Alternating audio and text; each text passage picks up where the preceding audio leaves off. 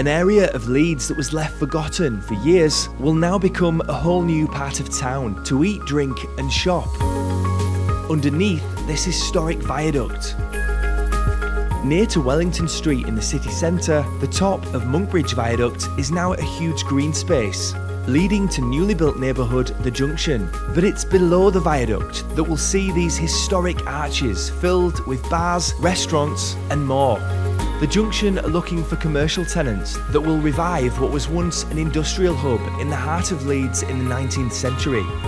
Right along the canal here, there'll be new places to eat and drink, with huge units below the junction apartments themselves, purpose built for more bars and restaurants. Exactly what will take residents here will be decided in the coming months. Let us know what you want to see open in the comments.